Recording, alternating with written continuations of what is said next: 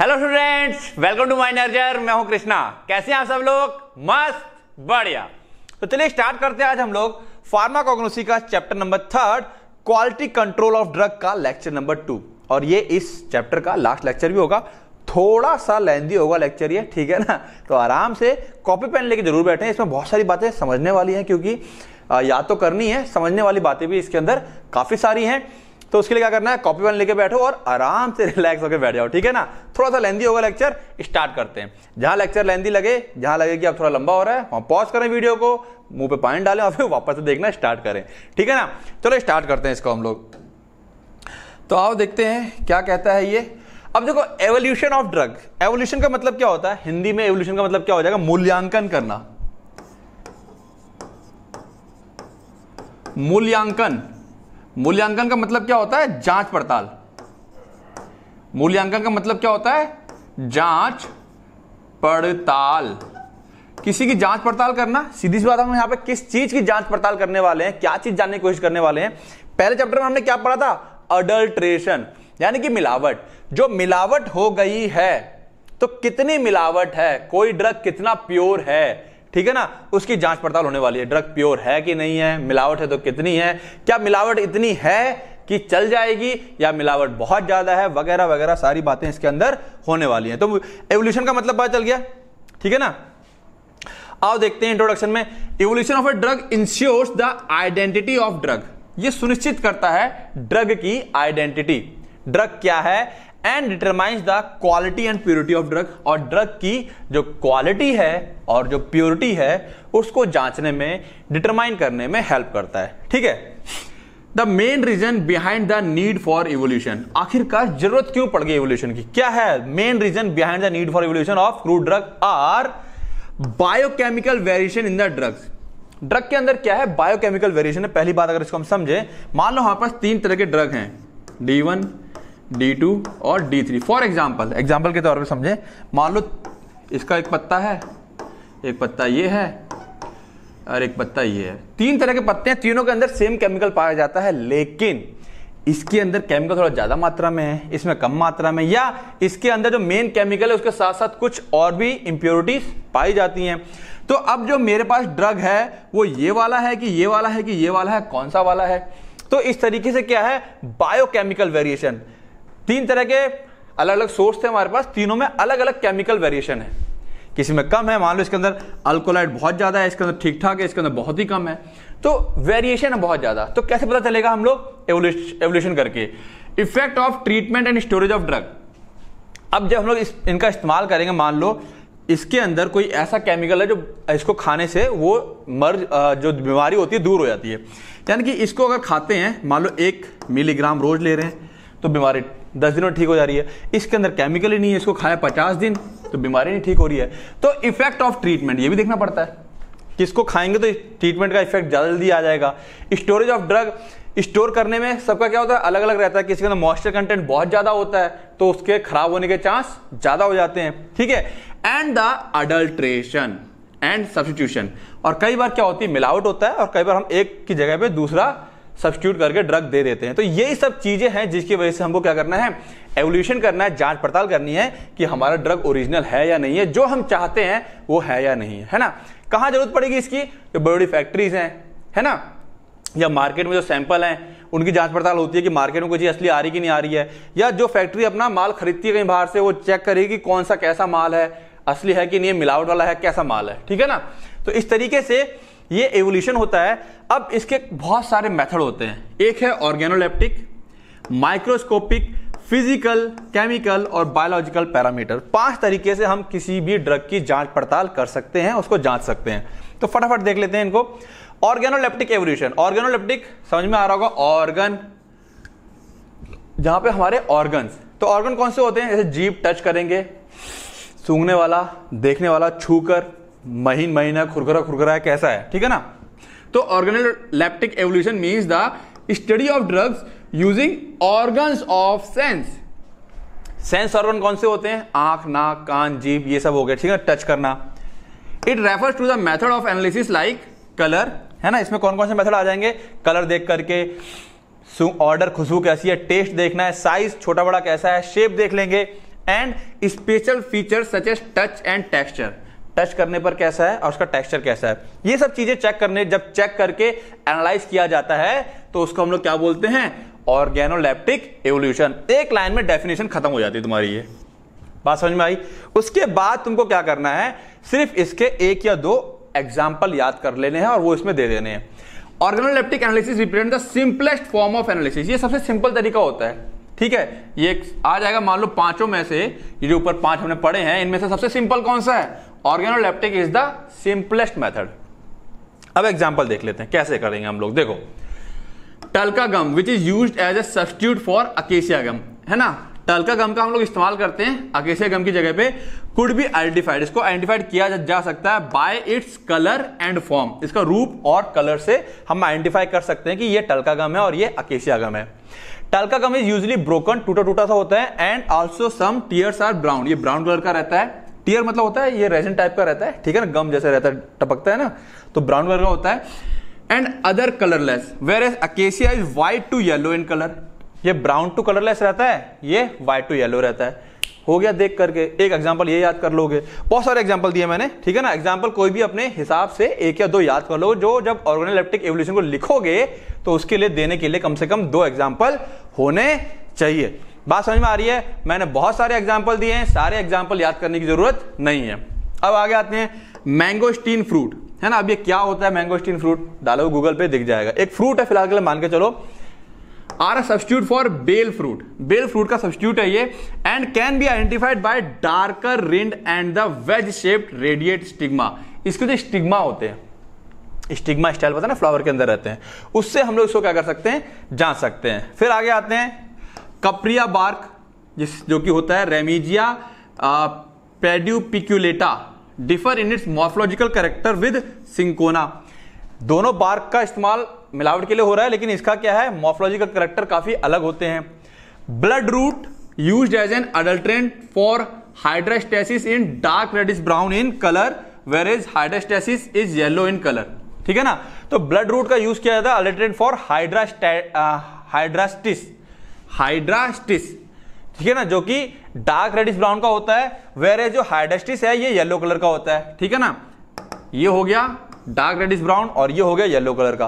तो कुछ नाम यहाँ पे टेढ़े मेढ़े आना स्टार्ट हो रहे हैं तो जो इजी लगे उसको याद कर लोगे। Rheum rhaponticum rhaponticum are much smaller than those of the Chinese rhubarb and are easily distinguish है ना? जो ये होता है, ये काफ़ी छोटा होता है चाइनीज़ वाले से। ये याद कर लो, जिंजर वाला आसान है। जिंजर एंड कैप्सिकम है पंजेंट टेस्ट इसका टेस्ट कैसा था? है ना, जिंजर खाओ कभी, काफ़ी अकरा सा लगता है। वेयर है जेंशियन एंड चिराटा है बिटर टेस्ट अगर इनको हम चखेंगे, ठीक है तो इसका टेस्ट कड़वा होता है और इसका टेस्ट थोड़ा सा अकराइला अकराइला सा होता है ना अजीब सा लगता है। तो ये सब एग्ज़ाम्पल है ऑर्गनोलेप्टिक के। याद करने हैं, दो या तीन जो तुमको सहूलियत से लगे, ठीक है ना? इसके अलावा तुम्हारे पास कोई और एग्ज़ाम्पल है? तो तुम्हारे सर ने या कहीं और से लिखवा दिए, वो तुमको याद है तो वो ऐड कर देना है, ठीक है? आगे आते हैं। अब आते हैं माइक्रोस्कोपिकल एवोल्यूशन थोड़ा सा यहाँ पे बच्चा कंफ्यूज रहता है। अब समझते हैं माइक्रोस्कोपिक मतलब हम चले गए हैं प्लांट के अंदर।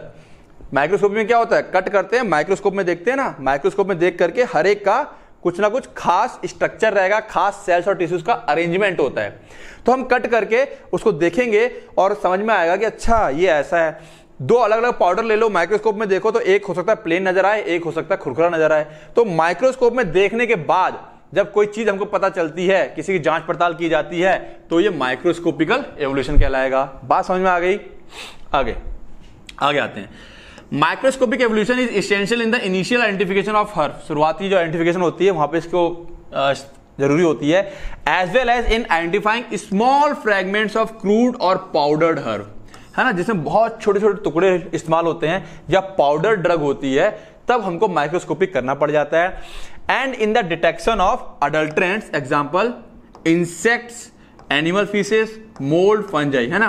पाउडर का ड्रग है उसे पता चला क्या कहते हैं, किसी एनिमल कॉकरेच वगैरह की पॉटी पड़ी हुई है उसके अंदर। कोई इंसेक्ट का टुकड़ा टांग टूट के पड़ी हुई है, मरा हुए की। कोई मोल्ड है फंजाई है, वो सब मिक्सअप हो रखा है, एक ही कलर का, समझ में नहीं आ रहा। तब क्या करेंगे हम लोग? माइक्रोस्कोपिक छोटा सैंपल लेंगे, डालेंगे माइक्रोस्कोप में और देखेंगे। अगर उसमें दिख जाता है तो एक आइडिया लग जाता है ना, जैसे कि हम चावल, पूरे कुकर में चावल, एक चावल को उठा के देखते हैं, पक गया, इसका मतलब पूरे चावल पक गए होंगे। तो हम छोटा सैंपल लेते हैं, एक मिलीग्राम उसमें चेक करेंगे, उसमें कितने, कितना पाया जा रहा है, उसके साथ आइडिया लगा लेंगे कि पूरे सैंपल में कितना होगा। ठीक है? As well as identifying the plant by characteristic tissue feature और जो उसके टिश्यूज होते हैं, उसको भी हम लोग उसमें एनालाइज कर लेते हैं कि ये टिश्यू इस टाइप का टिश्यू इस प्लांट में पाया जाता है। अगर इस टाइप के टिश्यू नहीं मिल रहे हैं, इसका मतलब ये किसी और प्लांट के टिश्यूज हैं जो कि मिलावट को इंडिकेट करेंगे। बात समझ में आ रही है? तो माइक्रोस्कोपिक हम लोग टोटली किसका इस्तेमाल कर रहे हैं? माइक्रोस्कोप का इस्तेमाल कर रहे हैं हर एक चीज़ को चेक करने के लिए। तो इसमें सिंपल डेफिनेशन में क्या लिख सकते हो? कि जो अडल्ट्रेंट होते हैं, जैसे कि इंसेक्ट हो गया एनिमल फीसेस फीसेस मतलब पॉटी हो गया मोल्ड हो गया फंजाई हो गया, अगर कोई उसके अंदर मिलावट है, ठीक है? या ये मिलावट हो सकती है as well identifying the plant by characteristic tissue feature plant की एक खास टिश्यू का अरेंजमेंट रहता है। वो दिख जाता है माइक्रोस्कोप में। ओके एवरी प्लांट पजेज है कैरेक्टरिस्टिक टिश्यू स्ट्रक्चर हर एक प्लांट का एक खास टिश्यू का स्ट्रक्चर होता है। बनावट का इंटरनल देखेंगे तो अलग टाइप की बनावट होती है which can be demonstrated through the study of tissue arrangement है ना? जिसको हम लोग टिश्यू के अरेंजमेंट से उसको स्टडी करके पहचान सकते हैं कि इस टाइप का टिश्यू अरेंजमेंट इस टाइप के प्लांट्स में पाई जाती है। क्लियर है? ठीक है ना? तो हम लोग ये सब कैसे अच्छा टिश्यू को कैसे देख पाएँगे? माइक्रोस्कोप से देख पाएँगे। इसी वजह से माइक्रोस्कोपिक एवोल्यूशन कहा गया इसे। बात समझ में आ रही है? तो हम लोग क्या कर रहे हैं? जो क्या कर रहे हैं? माइक्रोस्कोप की हेल्प से एवोल्यूट कर रहे हैं। आगे आते हैं। अब देखो, यहाँ पर एक एग्ज़ाम्पल दे रखा है। जब हम लोग माइक्रोस्कोपिक एवोल्यूशन करते हैं तो क्या होता है हमारे पास? एक स्लाइड होती है, याद होगा, है ना? यहाँ पे हम सैंपल डाल देंगे। सैंपल के ऊपर हम लोग एक लिड लगा देते हैं। इसके ऊपर कई बार कलर वगैरह डाल देते हैं। ठीक है ना? तो सिंपल सी बात कह रहा है लिग्निन स्टेन्स रेड और पिंक अगर लिग्निन नाम का जो केमिकल सुना होगा, जो लिग्निन पाया जाता है तो उसका कलर कैसा आएगा? रेड या पिंक आएगा? With a drop of phloroglucinol and concentrated hydrochloric acid mucilage is stained pink with ruthenium red अगर इस टाइप के कलर आते हैं म्यूसिलेज अगर तो मान लो, हम लोग क्या डाल दिए? ये डाला हमने हाइड्रोक्लोरिक एसिड या फ्लोरोग्लिसिनॉल ठीक है ना? यहाँ पे कॉमन लगा देते हैं। लिग्निन स्टेन रेड और pink with drop of phloroglucinol हमने फ्लोरो यहाँ पे क्या ड्रॉप डाला? फ्लोरोग्लिसिनॉल का डाला। और कलर क्या आ गया? पिंक आ गया, या रेड आ गया। तो हमको समझ में आएगा कि इसके अंदर कौन सा केमिकल है? लिग्निन है। और अगर हम डाल रहे हैं कंसेंट्रेटेड एस और कलर आता है पिंक सॉरी हम लोग क्या डाल रहे हैं? रुथेनियम रेड डाल रहे हैं और कलर क्या आ रहा है? पिंक तो हम समझ जाएँगे उसके अंदर क्या मौजूद है? म्यूसिलेज मौजूद है। ठीक है? यही अगर हम N by fifty iodine solution ये हम पढ़ भी चुके हैं। Solution stains, starch and hemicellulose blue. है ना? हमको पता है आयोडीन सोल्यूशन को डाल दो, जो स्टार्च होता है, वो ब्लू कलर का हो जाता है। तो कौन सा केमिकल है कुछ सैंपल के अंदर? है ना? मान लो हमको पता है कि सैंपल के अंदर स्टार्च होना चाहिए लिग्निन नहीं होना चाहिए। लेकिन हमने जब टेस्ट किया तो इसका पिंक और ये रेड आ रहा था, इसका मतलब सैंपल में लिग्निन मौजूद है, यानी कि मिलावट मौजूद है।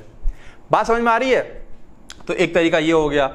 अब बात करते हैं the characteristic feature of cell wall cell wall का भी कैरेक्टरिस्टिक फीचर होता है। उसके सेल्लो से बना होता है। किस टाइप का है? पतला, मोटा और कितना परसेंटेज उसके अंदर सेल्यूलोज पाया जा रहा है? सेल कंटेंट स्टार्च ग्रेन कैसा है? जो उसके सेल के अंदर स्टार्च ग्रेन पाए जाते हैं, वो कैसे हैं? कैल्शियम ऑक्सीडेट जो उसके अंदर पाया जाता है, उसके क्रिस्टल ट्राइकोम्स जो होता है ना, उसके हेयर टाइप के स्ट्रक्चर रहते हैं, उनको ट्राइकोम्स कहते हैं फाइबर वेसल्स एटसेट्रा इन सबको हम लोग माइक्रोस्कोप से चेक कर सकते हैं और स्टडी कर सकते हैं डिटेल में। यानी कि जो सैंपल हमारे पास है, उसमें हम लोग क्या क्या चीज़ देख सकते हैं? Cell wall, cell content, starch grain जो पाया जाता है उसके अंदर calcium oxalate crystal, trichomes, fibre, vessels. ये जो चीज़ें हैं, ये हर एक टाइप के प्लांट्स के लिए अलग अलग होती है। है ना? ज़रूरी नहीं सब में सब पाया जाए, किसी में तो कुछ पाए जाते हो। ठीक है, किसी के अंदर स्टार्च ग्रेन बहुत ज़्यादा होंगे, किसी के अंदर कैल्शियम ऑक्सीलेट पाए ही नहीं जाते होंगे। और हमारे पास जो सैंपल है, उसमें कैल्शियम ऑक्सीलेट मिल रहा है, इसका मतलब उसके अंदर मिलावट हो रखी है। बात समझ में आ रही है? तो ये सारे ऐसे फीचर्स है जो माइक्रोस्कोप की हेल्प से हम लोग डिटेक्ट कर सकते हैं। अब देखो यहाँ पर कुछ एग्ज़ाम्पल दिए मैंने। समझते हैं? ठीक है, Surinam cassia is recognised by the absence of calcium oxalate and presence of uniseriate medullary ray and crystal fibre जो मेरे पास ये वाला प्लांट है, इसकी क्या खासियत है? इसके अंदर कैल्शियम ऑक्सीलेट नहीं होगा। Uniseriate medullary. अब ये यूनिसेरियट मेडुलरी, ये इसका एनाटॉमिकल टर्म है। प्लांट के अंदर पाया जाता है, ठीक है? तो ये मौजूद होगा और ये मौजूद होगा। अगर ये चीज़ें नहीं मिलती हैं उस सैंपल के अंदर माइक्रोस्कोपिक एवोल्यूशन करने पर तो इसका मतलब उसके अंदर सुरीनाम कॉसिया नहीं है या कुछ और सैंपल मौजूद है तो उसके अंदर ये सब चीज़ें नहीं पाई जाएँगी। आगे आते हैं। वेवी मेडुलरी रेस अगेन है ना प्लांट को जब हम कट करेंगे, इस तरीके से पड़ा होगा तो यहाँ बीच में पिथ होता है, यहाँ पे जाइलम फ्लोएम्स होते हैं, इस तरह से टिश्यूज होते हैं। है ना? तो ये कटिंग वाला जो हमने कहीं पढ़ा होगा तो वहीं पे एक इंटरनल स्ट्रक्चर होता है मेडुलरी रेज ठीक है found in cascara bark wavy medullary rays found in cascara bark जो कैस्कारा का बार्क होता है, उसके अंदर मेडुलरी रेज होती है वेवी होती है लहर वाइज ऐसे होंगे स्ट्रेट नहीं पाई जाती हैं। जनरली जो मेडुलरी रेज होती हैं, वो स्ट्रेट होती हैं। ठीक है?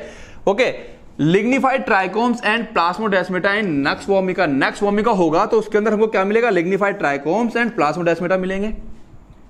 क्लियर है? तो इस तरीके से ये क्या है, इनके माइक्रोस्कोपिक कैरेक्टरिस्टिक्स है हर किसी के, जो हम लोगों ने नोट कर लिए हैं। अगर किसी को चेक करना तो सब देख लेंगे। तो बहुत सारे दे दिए मैंने यहाँ पर। तुम लोग कोई दो चार याद कर लोगे और सिर्फ़ बता दोगे कि इनके अंदर ये पाया जाएगा तो ये है, नहीं पाया जाएगा तो ये नहीं है मतलब मिलावट है। Stone cells are absent in the frangula bark where as they are present in the cascara bark है ना, दो बार्क छाल दे दी गई हमको। अब पहचानो कौन है? अगर स्टोन सेल पाए जाएँगे, ये भी इसका एनाटॉमिकल स्ट्रक्चर होता है तो वो फ्रेंगुलर बार्क होगा। अगर सॉरी अगर एबसेंट होगा तो। और अगर ये स्टोन सेल नहीं पाए पाए जा रहे हैं तो क्या होगा? कस्कारा बार्क होगा। बात समझ में आ गई? Presence of pith in rhizomes and absence in root ठीक है ना? राइजोम में पिथ क्या होता है? एबसेंट होगा सॉरी प्रेजेंट होगा, और रूट के अंदर क्या रहेगा? एबसेंट होगा। अब ये राइजोम्स ठीक है ना? यानी कि राइजोम जैसे कि अदरक होती है, वो भी ज़मीन के अंदर पाई जाती है, और जो जड़ें होती है प्लांट की, वो भी ज़मीन के अंदर पाई जाती हैं। अब अदरक हमको बहुत अच्छे से पता है क्या है? इस टाइम का मॉडिफिकेशन है, ठीक है ना? तो और रूट्स रूट्स होती हैं। तो रूट अगर होगा वो तो उसके अंदर पिथ क्या होगा? एबसेंट होगा। राइजोम के अंदर मौजूद होता है तो पता चल जाएगा राइजोम है या नहीं है। वार्टी मतलब एक तरह गांठे टाइप समझ लो। Trichomes of senna and presence और absence of crystals of aloin indicate different varieties of aloes glandular trichomes of mint etcetera तो यहाँ पे बहुत सारे दे दिए एग्ज़ाम्पल ये the powder of clove stalks contain sclereid जो क्लोव का स्टाक होता है स्टाक मतलब जो नीचे की डंडी रहेगी। उसमें स्क्लैरिड्स मौजूद रहते हैं एंड कैल्शियम ऑक्सीलेट क्रिस्टल मौजूद रहेंगे। But cloves do not contain these two cloves मतलब जो ऊपर का फूल होगा, उसके अंदर ये दोनों चीज़ें एबसेंट होगी तो मिलावट का पता चल जाएगा। है ना कि केवल क्लोव है या उसके साथ स्टेम भी है। स्टेम का ही पाउडर है उसमें। अब यहाँ पे एग्ज़ाम्पल है राव वॉल्फिया माइक्रेंथो और rauwolfia densiflora and rauwolfia perakensis are found to serve as an adulterant for rauwolfia serpentine है ना? ये पढ़ चुके हैं हम लोग, कॉग्नोसी में। आगे आ जाएगा। ठीक है, अभी नहीं पढ़े हैं तो थोड़ा कंफ्यूजन हो जाता है कि हम लोग पढ़ लिया कि नहीं पढ़ लिया ना? सारे सब्जेक्ट एक साथ चल रहे हैं अभी। कोई बात नहीं। तो राव वॉल्फिया सरपेंटाइन एक काफ़ी अच्छा ड्रग है, ठीक है ना? इसमें हम लोग ये वाला ड्रग ये वाला ड्रग या ये वाला ड्रग की मिलावट कर देते हैं। ठीक है? एडल्टेंट के इस्तेमाल करते हैं। The roots of these species can be differentiated from R serpentine. इनकी, इसकी इसकी जो रूट्स है ना, वो अलग होती है आर सरपेंटाइन से। By the presence of sclerenchyma in the above species which is absent in R serpentine यानी कि ऊपर के तीन स्पीसीज में स्क्लेरन काइमा प्लांट का टिश्यू होता है, ठीक है? वो पाया जाता है और आर सरपेंटाइन में ये क्या होता है? स्क्लेरन काइमा एबसेंट होता है। तो ये माइक्रोस्कोपिक इवोल्यूशन है। बात समझ में आ गई? ठीक है। अब और आगे आते हैं हम लोग। एक तरीका तो ये हो गया। और दूसरा तरीका क्या है? दूसरा तरीका ये है the techniques like microscopic linear measurement microscope की हेल्प से हम लोग क्या करेंगे? लीनियर मेज़रमेंट अभी लीनियर मतलब क्या होता है? लीनियर मतलब क्या होगा? लंबाई चौड़ाई नापेंगे। किसकी? पाउडर की। यस और देखते हैं। Determination of leaf constant leaf constant क्या होते हैं? लीफ कांस्टेंट यानी कि एक लीफ के अंदर कितने स्टोमेटा पाए जाएँगे?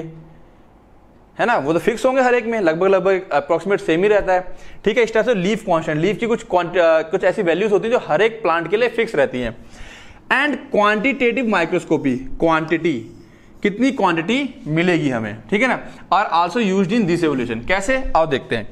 अब देखो लीनियर मेज़रमेंट क्या है? Simple it include size of starch grain drug के अंदर जो स्टार्च ग्रेन होता है है ना? क्योंकि प्लांट क्या करता है? फोटोसिंथेसिस करता है। फोटोसिंथेसिस करने के बाद स्टार्च ग्रेन बनाता है वो। मतलब कि ग्लूकोज को इकट्ठा करके स्टार्च में बदलता है और वो छोटे छोटे दाने के रूप में स्टोर होता है, जिसको हम लोग क्या बोलते हैं? स्टार्च ग्रेन कहते हैं। अब उस स्टार्च ग्रेन को जब पाउडर हमारे पास है तो स्टार्च ग्रेन भी मौजूद होंगे उसके अंदर। तो स्टार्च ग्रेन का साइज़ लेंथ एंड विथ अच्छा sorry size of starch and grain length and width of fibre अगर कोई फाइबर उसके अंदर मौजूद है, और ट्राइकोम्स का एटसेट्रा ठीक है ना? इसके अंदर क्या क्या है? देखो साइज़ का मेज़रमेंट चल रहा है। स्टार्च ग्रेन को नाप लेंगे फाइबर को नाप लेंगे ट्राइकोम्स को नाप लेंगे। माइक्रोस्कोपिक तरीके से। आगे आते हैं। The diameter of starch grain present in ipecacuanha assist in distinguishing its variety. अब देखो, आइपेकोआना का जो स्टार्च ग्रेन होता है ना, उसमें अलग अलग वैरायटी में जो स्टार्च ग्रेन का साइज़ होता है, वो अलग अलग होता है। तो हमें उससे आइडिया लगता है कि अच्छा ये इस साइज़ का स्टार्च ग्रेन है इस सैंपल में तो ये वाली वैरायटी है। इस साइज़ का स्टार्च ग्रेन है तो ये वाली वैरायटी है। क्लियर है? The diameter of starch grain in cassia bark distinguishes from cinnamon and detect senna stalk in powder of senna leaf ठीक है ना? तो देखो स्टार्च ग्रेन का जो साइज़ है, वो हेल्प करता है कैसिया बार को सिन्नामन बाग से अलग करने में और डिटेक्ट करने में सेना स्टॉक और पाउडर सेना लीफ जो लीफ और स्टॉक का जो पाउडर होता है सेना का, उसको उन दोनों में जो स्टार्च का साइज़ है अलग अलग पाया जाता है। क्लियर है? The size of the stomata in leaves of barosma अब देखो स्टोमेटा का साइज़ नाप लिया गया है। स्टोमेटा तो पता है ना, जहाँ से गैसेस का एक्सचेंज होता है। है ना? Stomata in leaves of baro barosma, betulina distinguish it from other species of barosma. यानी कि ये वाली जो स्पीसीज है, ठीक है, ये जो प्लांट है, इसी की और भी वैरायटी पाई जाती है। तो स्टोमेटा का जो साइज़ है, उसको हम लोग चेक कर लेते हैं और हमको पता चल जाता है क्या कि ये वाली वैरायटी है या नहीं है। The diameter of phloem phloem तो पता है ना क्या होता है? है ना, जो फ़ूड को कैरी करता है प्लांट के अंदर, उसके जो फाइबर से बना होता है।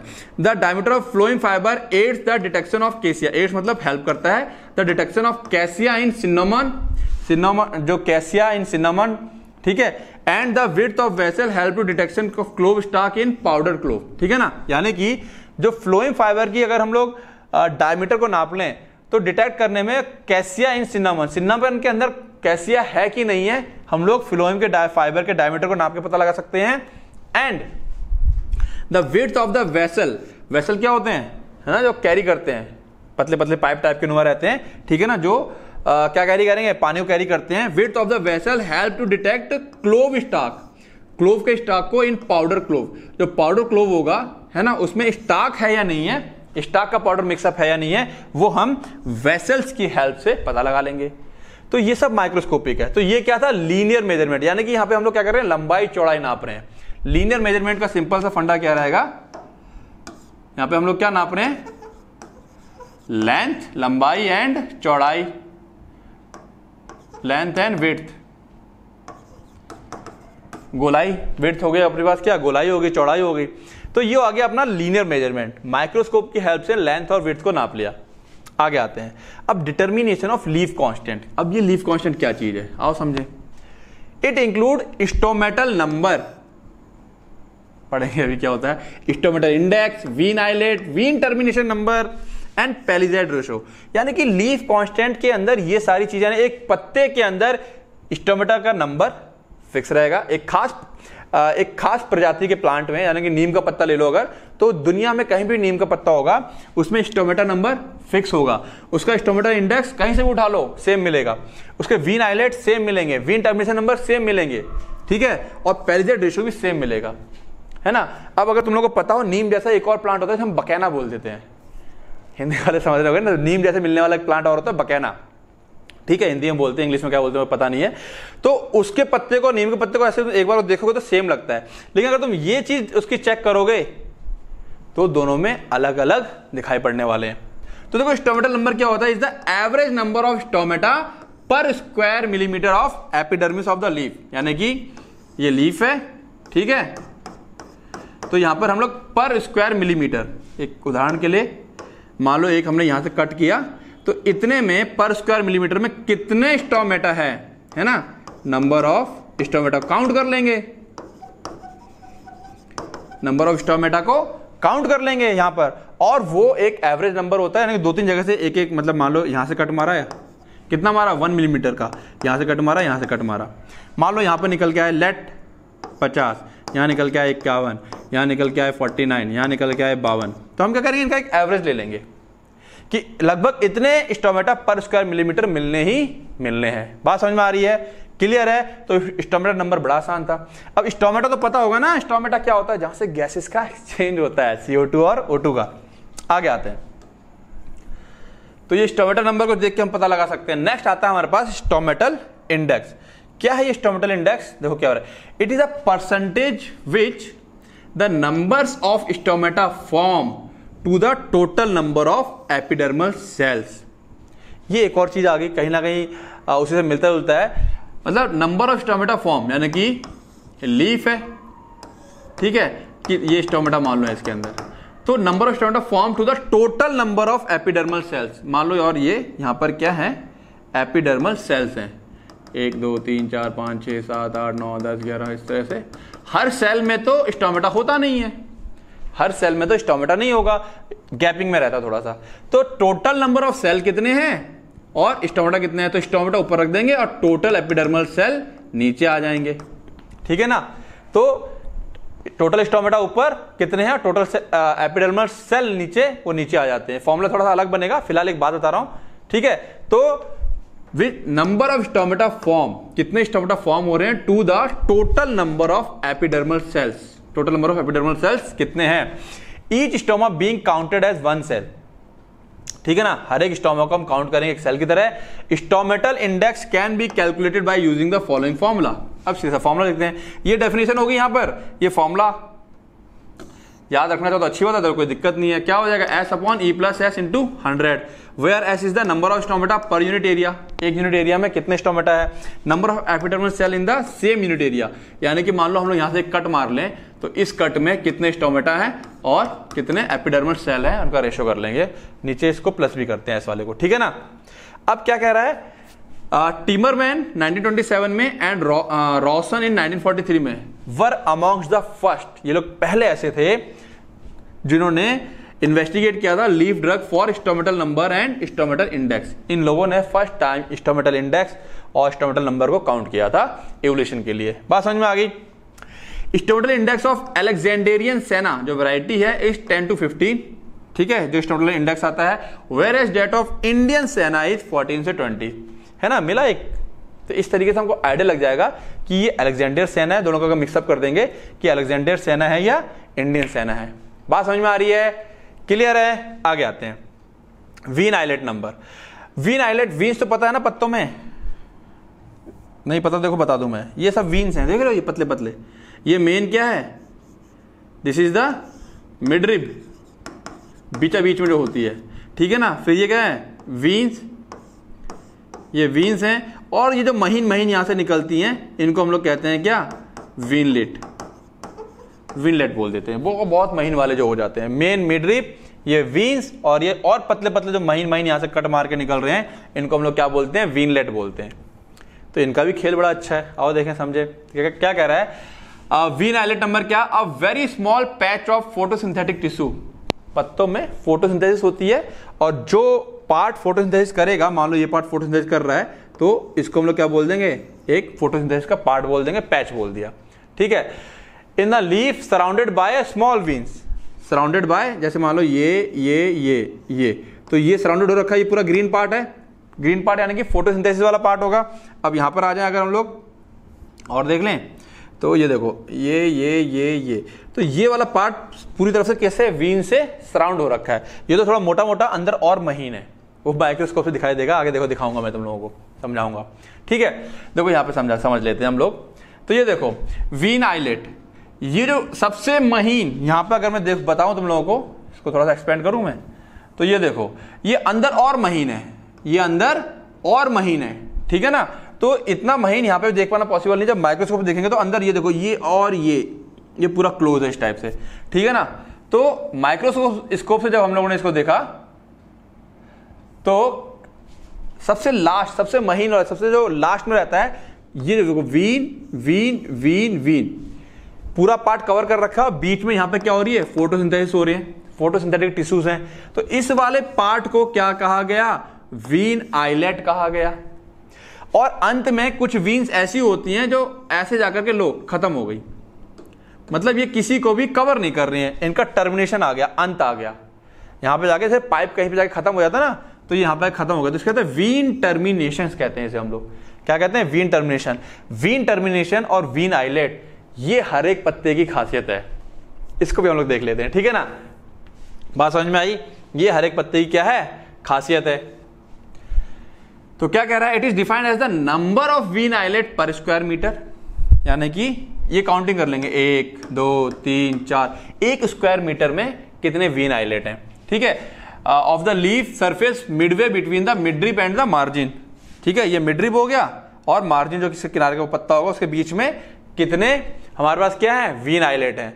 ये हर एक प्लांट के पत्ते की खासियत होती है और उसकी, उसमें ही जो नंबर होगा, उसके लिए फिक्स होगा और किसी में नहीं पाया जाएगा वो number it is a constant for a given species किसी खास स्पीसीज के लिए क्या रहता है ये? कांस्टेंट होता है of the plant and is used as a characteristic for the identification of the allied species और उससे जो मिलती एलाइड मतलब उससे मिलती जुलती जो उसके भाई बंधु हैं, उनके, उनसे उनको डिफ्रेंशिएट करने में। लगते एक जैसे हैं, लेकिन हम लोग ये काउंट कर लेंगे तो उनके भाव, भाई बंधु वाले जो स्पीसीज हैं मतलब जो मिलते जुलते स्पीसीज हैं, उनमें वो नंबर नहीं मिलेगा, अलग नंबर मिलेगा। अब क्या कह रहे हैं? Levin in 1929 determine vein islet number for several dicot leaf Levin ने फाइंड आउट किया था।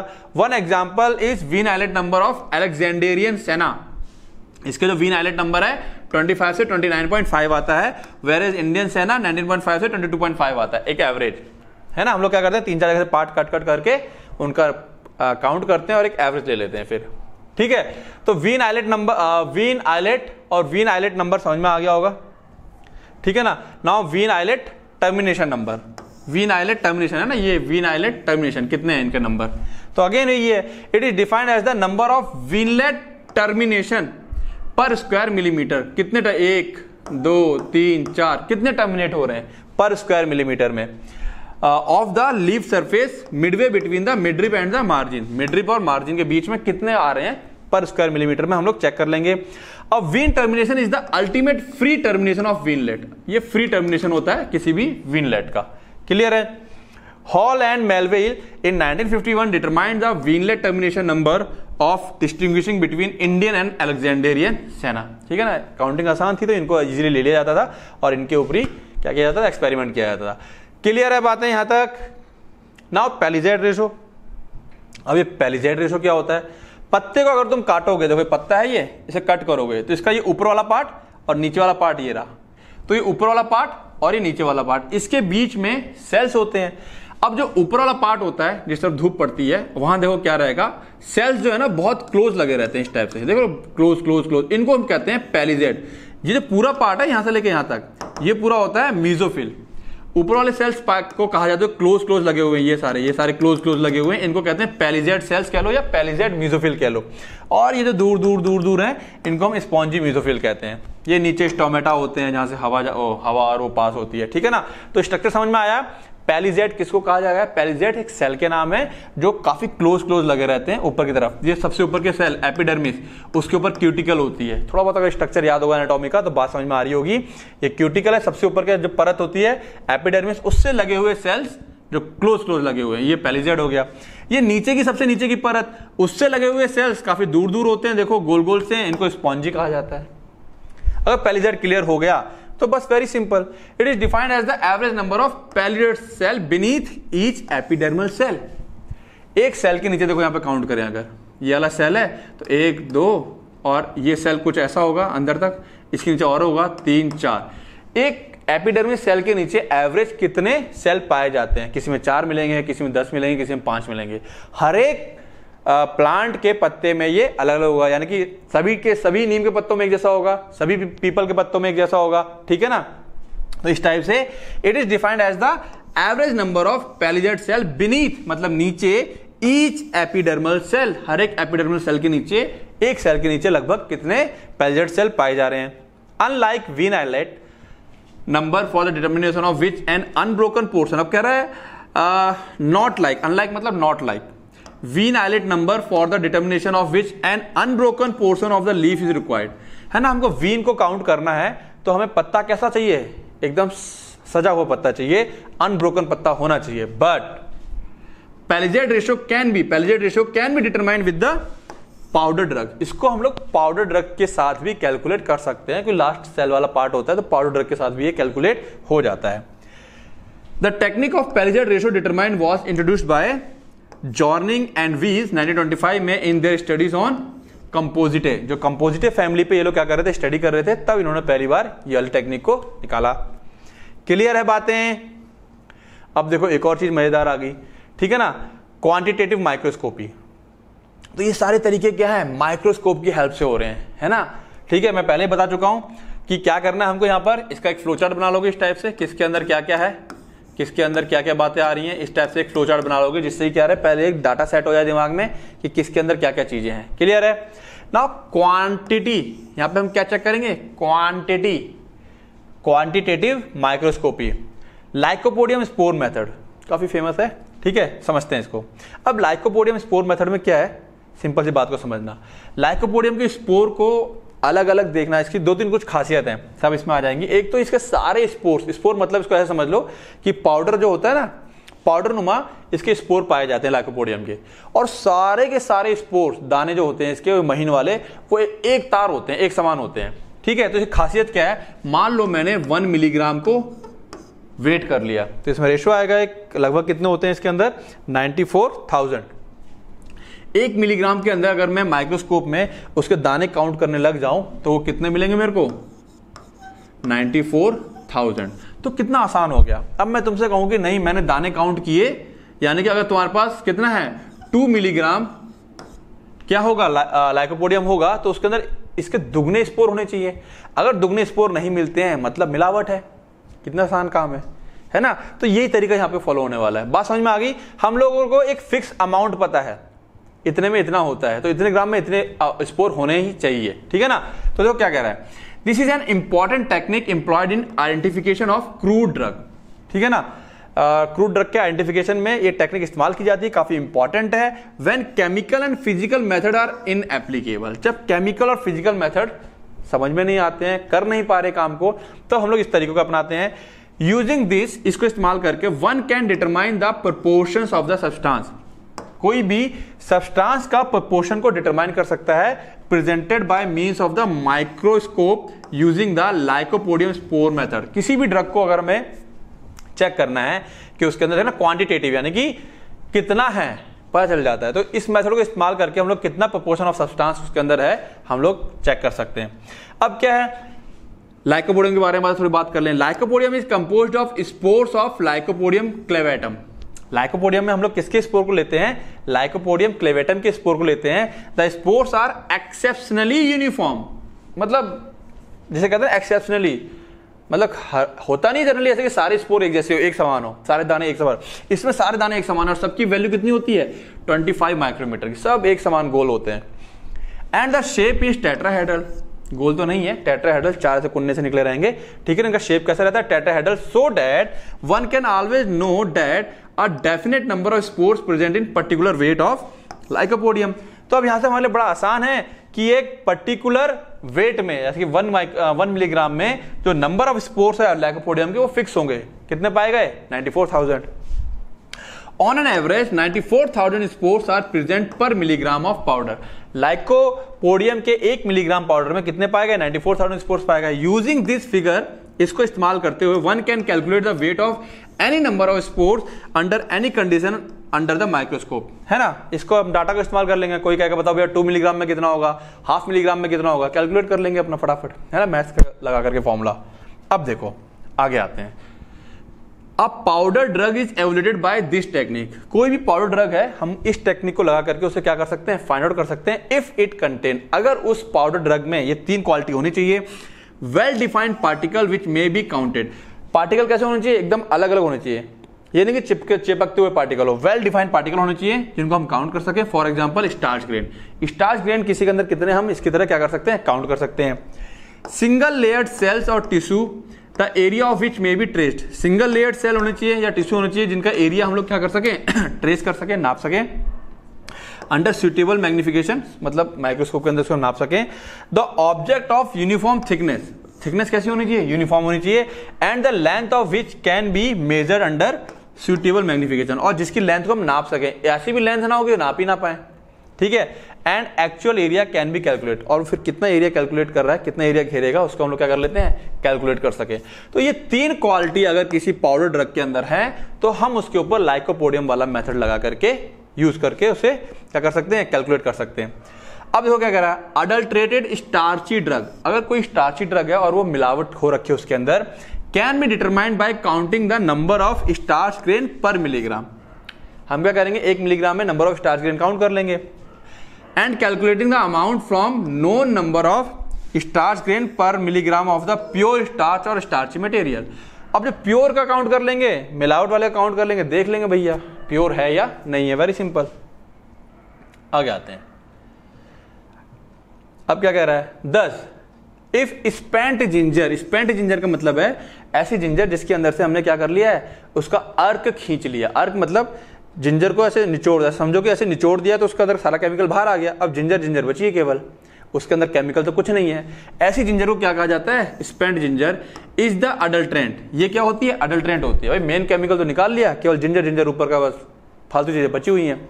ठीक है, उसको हमने मिला दिया अच्छी जिंजर के साथ। That ginger contain two eighty six thousand starch grain per milligram हमको पता है कि एक मिलीग्राम में जिंजर के अंदर कितने होते हैं? Two eight six thousand starch grain per milligram and the amount use as an adulterant can be calculated by using this figure और हम लोग कितना अमाउंट ऑफ़ अडल्ट्रेंट मिलाया गया है? इस फिगर को देखते हुए कैलकुलेट कर लेंगे। हर किसी का ये अलग होता है। हर किसी के अंदर जो स्टार्च की काउंटिंग होती है, वो अलग अलग होती है। तो यहाँ पे हमने एक किसका ले लिया? स्पेंट जिंजर का एग्ज़ाम्पल लेके चल रहे हैं। ठीक है? इसको चाहो तो याद करना, चाहो तो याद ना करना। समझ लो लेकिन कैसे करते हैं। The percentage purity of authentic powder ginger is calculated using the following equation ये इक्वेशन लगा देंगे हम लोग परसेंटेज प्योरिटी ऑफ़ ड्रग ये ड्रग कितना प्योर है? N W into ninety four thousand lycopodium वाला यूज़ करते हुए into hundred S into M into P P की क्या वैल्यू होती है? ये वाली वैल्यू रहेगी पी की। ठीक है ना? हर किसी के लिए अलग अलग होगी। जो ड्रग होगा, उसके लिए पी की वैल्यू अलग हो जाती है। Where N is equal to number of characteristic structure N क्या है? हम लोग किस स्ट्रक्चर की बात कर रहे हैं? जैसे कि यहाँ पर हम एग्ज़ाम्पल ले स्टार्च की बात कर रहे हैं। ठीक है? इन 25 फ़ील्ड एक्चुअली क्या होता है? हम अलग अलग 25 फ़ील्ड से निकालते हैं चीज़ों को। है ना? जिससे कि हमें क्या रहे? एक आइडिया लग जाए। 25 फ़ील्ड से अलग अलग उठा करके हम लोग क्या करेंगे? कैलकुलेट करेंगे। तभी हम लोग क्या लेते हैं? एवरेज लेते हैं आगे जाकर करके weight in mg of lycopodium taken lycopodium कितना लिया है उसका weight S is the number of lycopodium spores in the same 25 field उसी 25 फ़ील्ड में जो लाइकोपोडियम हमने ग्रो करवाई या जो ली हमने वहाँ से, उसी 25 फ़ील्ड की होनी चाहिए। M is equal to weight in M G of the sample calculated on the basis of sample dried at 105 degree centigrade M is the weight of sample sample का वेट जिसको हम सुखा लेते हैं 105 डिग्री सेंटीग्रेड पर। इस टेक्निक में बहुत ज़्यादा अंदर घुसने की कोशिश मत करना। जस्ट एक फॉर्मूला है, उसके तो वो बता दे रहा हूँ, उसमें क्या क्या चीज़ें हैं, ठीक है ना? P is the two eighty six thousand in the case of ginger starch grain powder जब जिंजर का ले रहे हैं तो उसकी केस की बात हो रही है। If the material is one for which a constant is not available अगर कोई मेटेरियल ऐसा है कि कांस्टेंट अवेलेबल नहीं है it is necessary to be determined one by the preliminary experiment पहले एक्सपेरिमेंट करके ये कांस्टेंट पता लगाना हमारी पहली ज़िम्मेदारी होगी। फिर उसको हम यहाँ लगा देंगे परसेंटेज प्योरिटी ऑफ़ ड्रग हमको मिल जाएगी। क्लियर है? तो इस तरीके से हम लोग, तरीका किसमें आया था? या माइक्रोस्कोपी वाले तरीके में आया है बात समझ में आ रही है? बात क्लियर है? नेक्स्ट है हमारे पास केमिकल एवोल्यूशन ठीक है? केमिकल एवोल्यूशन बात समझ में आ रही होगी। यहाँ पे सारी बातें किसकी होने वाली है? केमिकली होने वाली है। केमिकल से रिलेटेड ठीक है? The chemical evaluation includes qualitative quality chemical test quantitative chemical test quantity यानी कि यहाँ पे हम क्वालिटी और क्वांटिटी दोनों के लिए टेस्ट करते हैं। केमिकल ऐसे करेंगे केमिकल ऐसे में क्या होता है? उसकी मतलब केमिकल ऐसे में ये दोनों ही चीज़ें आ जाती है। क्वालिटी और क्वांटिटी चेक करना केमिकल ऐसे आ जाता है। एंड इंस्ट्रूमेंटल एनालिसिस जब एनालिसिस में एनालिसिस करने के लिए हमें किसी इंस्ट्रूमेंट का सहारा लेने पड़े तो उसको हम लोग क्या बोलते हैं? इंस्ट्रूमेंटल एनालिसिस वेरी सिंपल जैसे क्रोमेटोग्राफी होती है अपनी, उसमें खास इंस्ट्रूमेंट का हमें यूज़ करना रहता है। तो ऐसी एनालिसिस को हम लोग क्या बोल देते हैं? Instrumental analysis now the isolation purification isolate करना प्यूरिफाई करना and identification of active constituent active मतलब जो मेन कॉन्स्टिट्यूएंट है, जो कि काम करता है as a medicine are chemical method of evolution ठीक है ना? The isolation purification identification of active constant are the chemical method of मतलब हम आइसोलेट करना प्यूरिफाई करना आइडेंटिफाई करना of active constant are the chemical method of evolution ये किस कौन से मेथड से हो जाते हैं हमारे पास? केमिकल मेथड से हो जाते हैं। अब देखो बात करते हैं हम लोग। क्वालिटेटिव केमिकल टेस्ट इंक्लूड जब हमें क्वालिटी को पता करना है, इसके अंदर कौन कौन आएगा? Identification test for various phyto constant like alkaloid glycoside tannin etcetera ठीक है ना? एग्ज़ाम्पल क्या है? ऑफ़ uh, ठीक है। तो क्वालिटेटिव चेक करने के लिए जो टेस्ट करने पड़ते हैं उसमें कुछ एग्ज़ाम्पल दे रखे हैं यहाँ पर। Copper acetate use in the detection of colophony present as an adulterant for resins balsam and waxes ठीक है ना? हम लोग डिटेक्ट किसको करते हैं? कोलोफोनी को किसके करेंगे? कॉपर एसिटेट की से ट्रीट करा करके। Halphen's test for cotton seed oil and Baudouin's test for sesame oil in olive oil यानी कि कॉटन सीड ऑयल और सीसेम ऑयल, अगर ऑयलिव ऑयल में मिला हुआ है तो कॉटन सीड को चेक करने के लिए हॉलफिन टेस्ट करेंगे और सीसेम ऑयल को चेक करने के लिए बॉडीज टेस्ट करेंगे। ठीक है? टेस्ट के नाम है डायरेक्ट तो ये सब केमिकल ही हो रहा है ना? केमिकल की हेल्प से करें तो केमिकल टेस्ट हो गया। तो क्वालिटी ठीक है ना? क्वालिटेटिव टेस्ट के अंदर टेस्ट आ गए सारे। The test with acetic and nitric acid for gurjun balsam in copaiba Van Urk's reagent for ergot ergot के लिए वेन आर्क रिएजेंट होता है Vitali's Morin's reaction for tropane alkaloid के लिए हम लोग इसका इस्तेमाल करते हैं आयोडीन इस्तेमाल करते हैं स्टार्च के लिए, और murexide test for purine bases etcetera तो इसमें से कोई भी दो चार अपने याद कर लोगे और एग्ज़ाम्पल में लिख दोगे। तो क्वालिटेटिव टेस्ट यानी कि सिंपल सी बात है, जब हमको केमिकल की हेल्प से हम लोग एवोल्यूशन करेंगे तो केमिकल एवोल्यूशन हो गया। ये सारी बातें उसके अंदर आ रही हैं हमारे पास। आगे आते हैं। क्वांटिटेटिव केमिकल अब यहाँ क्वांटिटी की बात हो रही है। ये सब बातें किसकी थी? क्वालिटी हमने क्वालिटी देख रहे थे। प्योर है या नहीं है? Quantity quantitative chemical test such as acid value ठीक है ना? सपोनिफिकेशन वैल्यू जो बल्सम्स के लिए होता है एसिड वैल्यू जो कि रेजिन और बल्सम्स के लिए दोनों के लिए है। ईस्टर वैल्यू चेक करते हैं बल्सम वोल्टाइल ऑयल के लिए एस्टाइल वैल्यू वोल्टाइल ऑयल के लिए एटसेट्रा और also useful in evolution of a drug by means of chemical treatment इसमें क्या इस्तेमाल हो रहा है? केमिकल इस्तेमाल हो रहा है। अब इनकी डिटेल में नहीं जाना, हमको सिर्फ़ पता होना चाहिए कि क्वांटिटेटिव टेस्ट ये है और केमिकल टेस्ट ये है। क्लियर है? आगे आते हैं। केमिकल एसेस जिसके अंदर क्वालिटी और क्वांटिटेटिव और क्वालिटेटिव दोनों इंक्लूड होते हैं। Include assay for alkaloid resin volatile oil glycoside vitamin और अदर कंस्टेंट ठीक है? तो यानी कि कह रहा है इन सब के लिए भी केमिकल टेस्ट मौजूद हैं ऐसे मौजूद हैं। For example the assay of total alkaloid in belladonna herb, इसके लिए ऐसे मौजूद है।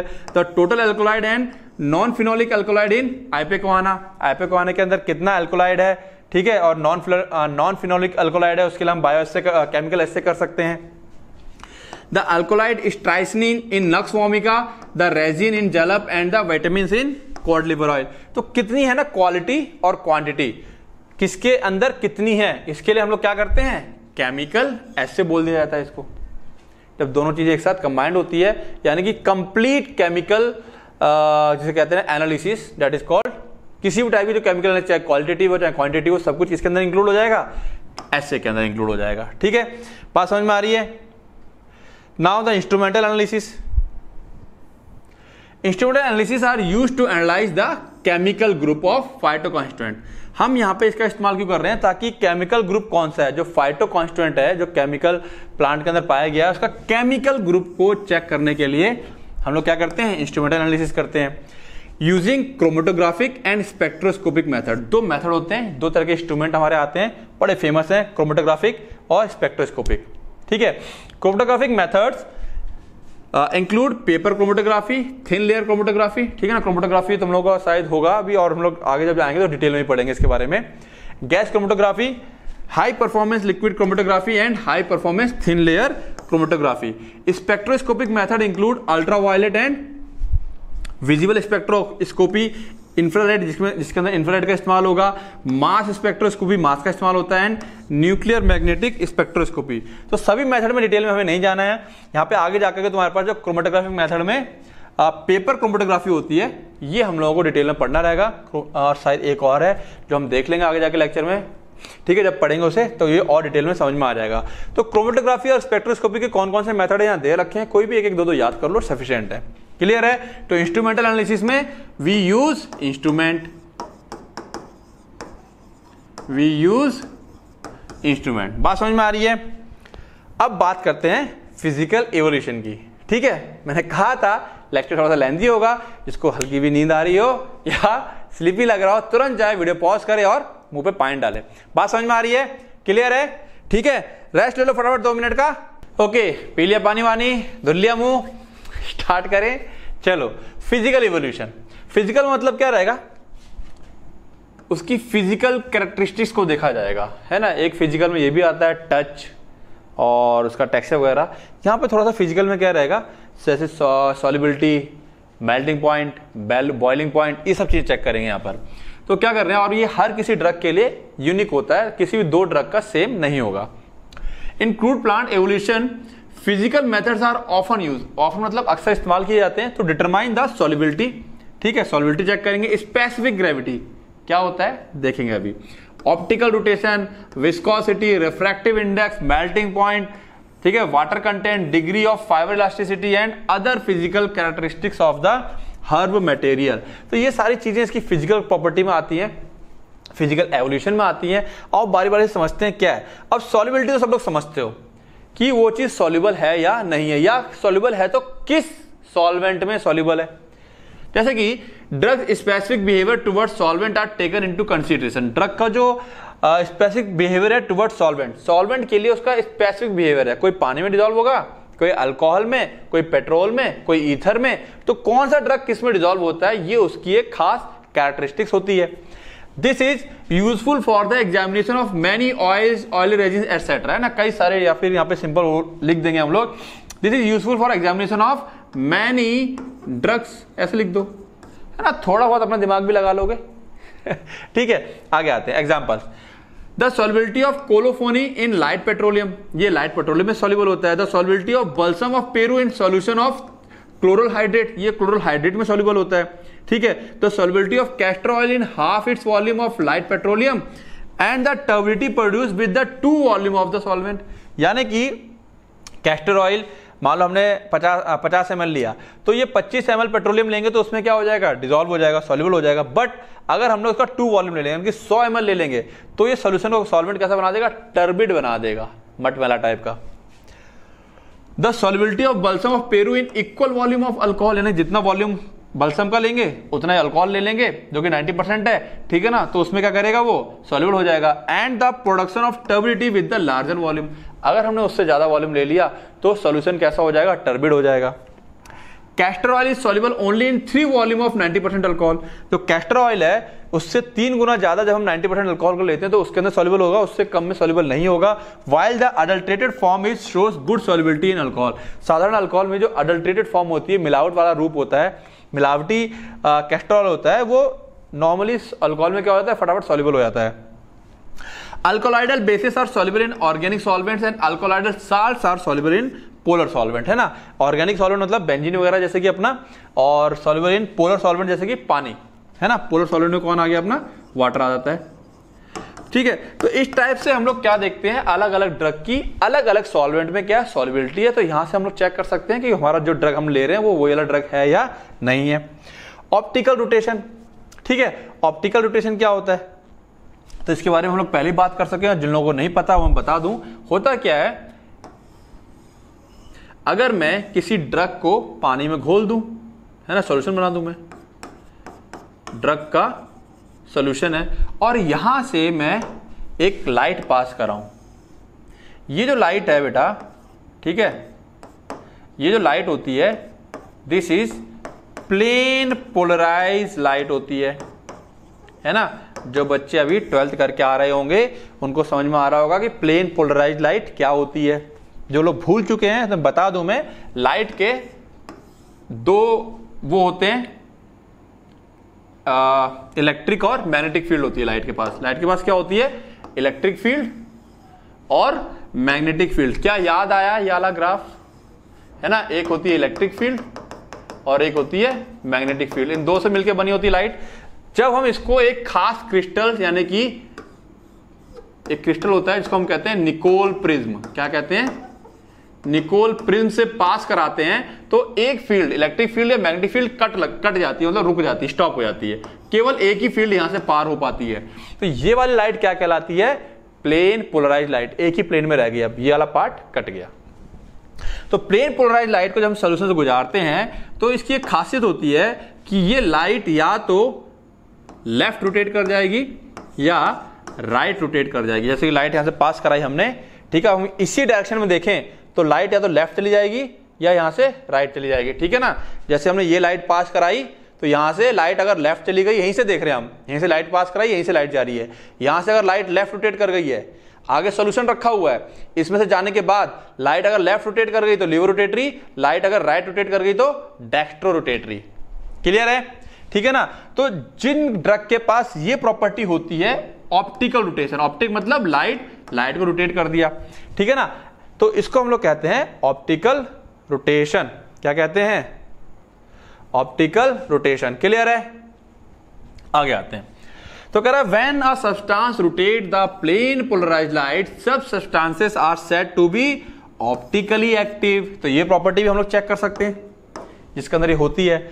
And this property is known as optical rotation इस प्रॉपर्टी को हम लोग क्या कहते हैं? Optical rotation the enantiomers that rotate light to right enantiomer मतलब एक ही सब्सटेंस के दो रूप होते हैं। एक सब्सटेंस लाइट को लेफ़्ट रोटेट कराएगा और वही सब्सटेंस थोड़ा सा अरेंजमेंट चेंज होने की वजह से राइट को लाइट राइट रोटेट करा देता है। तो ऐसे दो एक सेम सब्सटेंस को, जैसे कि मान लो, अब क्या है यहाँ पर? C H C L B R और एक ले लेते हैं हम लोग आयोडीन है ना? तो आई बी आर एच और सी एल अब इसी, इसका फॉर्मूला तो यही है। अब इसी को मैं ऐसा लिख दूँ। यहाँ पर आई हो गया, यहाँ पर एच हो गया, यहाँ पे सी एल हो गया, यहाँ बी आर हो गया। तो अरेंजमेंट चेंज होगी, लेकिन फॉर्मूला सेम है। यानी कि same molecular formula but different arrangement of atoms three में। तो ऐसो को हम लोग क्या बोलते हैं? इनएंशियोमर बोल देते हैं। क्या बोल देते हैं? इनएंशियोमर्स है ना? आइसोमर ना बोल करके इनएंशियोमर बोला गया। क्यों? क्योंकि ये लाइट के ऊपर असर डाल रहे हैं। आइसोमर नहीं बोला गया इसीलिए, ठीक है ना? तो the enantiomer that rotate light to right और क्लॉकवाइज, ठीक है ना? राइट को या क्लॉकवाइज रोटेट कराएगा। When viewing in the direction of light light की ही डायरेक्शन में देखो और ये क्लॉकवाइज ऐसे घुमा दे, है ना? इस तरफ़, यानी कि क्लॉकवाइज तो उसको हम लोग क्या बोलते हैं? कॉल डेक्स्ट्रो रोटेटरी डी और प्लस से डोनेट करते हैं। किसे डोनेट करते हैं? प्लस से। या प्लस इनशोमर बोल देते हैं इसको हम लोग। क्लियर है? And the enantiomer that rotate light to the left और काउंटर क्लॉकवाइज यानी कि उल्टी डायरेक्शन में, यानी कि ऐसे देख रहे हैं और लाइट को ऐसे चला गई लाइट यानी कि लेफ़्ट साइड में। इज़ कॉल लिवोरोटेटरी एल और माइनस इनशोमर ठीक है ना? प्लस और माइनस इनशोमर यहाँ से हम लोग क्रिएट कर सकते हैं। इस तरीके से बनते हैं। Few examples of drug this property are eucalyptus oil zero degree से प्लस टेन डिग्री रोटेट करवाता है। हनी प्लस थ्री से माइनस फिफ्टीन डिग्री और चीनोपोडियम ऑयल माइनस थर्टी से minus eighty degree light rotate हो जाती है। क्लियर है? बात समझ में आई? तो यहाँ पर कुछ बातें फिजिक्स की आने लगी अब। नाउ रिफ्रैक्टिव इंडेक्स अब ये तो पता ही होगा रिफ्रैक्टिव इंडेक्स क्या होता है। याद है? नहीं याद है। मान लो ये क्या है? वाटर ठीक है ना? दिस इज़ नॉर्मल देखो, कुछ बच्चों को फटाक से याद आ जाएगा। एक लाइट आती है मेरे पास और जाना चाहिए था स्ट्रेट लाइट को। बट ये क्या कर रही बैंड हो गई, है ना? तो ये क्या था? Angle of incidence angle of refraction तो यहाँ पे क्या होता है? म्यू ऑफ़ ये मान लो मीडियम टू है, ये मीडियम वन है. Mu of two with respect to one that is sine I upon sine R याद आई physics? This is the mu refractive index यहाँ पे इसका काम नहीं है, बस बता रहा हूँ मैं, इस तरह से तुम लोगों ने पढ़ाई की होगी। तो याद दिला रहा हूँ तुम लोगों को मैं। This is the refractive index यानी कि लाइट की रफ्तार, अगर मैं इसको लाइट की रफ्तार के टर्म में लिखूं तो यहाँ पर आ जाएगा speed of light in air upon speed of light in medium medium कुछ भी हो सकता है। ऑयल पानी ग्लास तो जब एक लाइट एयर से या वैक्यूम से किसी मीडियम में घुसती है तो उसकी रफ्तार जो होती है बदल जाती है, बल्कि यूँ कहूँ कि धीमी पड़ जाती है। ठीक है ना? तो इसको हम लोग कैलकुलेट करके क्या निकालते हैं? म्यू। और हर किसी का म्यू अलग होता है। वेरी इंपॉर्टेंट तो क्या कह रहा है? Reflective index defined as the property of the material that changes the speed of light ये वो प्रॉपर्टी है जो लाइट की स्पीड को चेंज कर देती है। Computed as the ratio of speed of light in vacuum air to the speed of light in material उस मटेरियल से जब गुजरेगा, इसका जो रेशियो होता है, यही क्या होता है? रिफ्लेक्टिव इंडेक्स होता है। अगर हम बात करें तो कैस्ट्रो ऑयल के लिए इसकी वैल्यू 1.4 टू 1.5 क्लोव ऑयल के लिए 1.5 टू 1.535 तक इसकी वैल्यू आती है। क्लियर है बातें? समझ में आ रहा है? मज़ा आ रहा होगा? अरे, क्या खुल गया? बंद कर दें इसे, आगे आता है। अब स्पेसिफिक ग्रेविटी की बात कर ले। ये भी एक प्रॉपर्टी जो हम लोग चेक कर सकते हैं। स्पेसिफिक ग्रेविटी क्या होती है? It is also known as relative density relative का मतलब क्या हो गया? किसी के रेस्पेक्ट में। हम लोग क्या कर रहे हैं? The ratio of the mass of solid और liquid to the mass of an equal volume of distil water मान लो हमने एक ग्राम क्या ले लिया? कोई ड्रग ले लिया। ठीक है ना?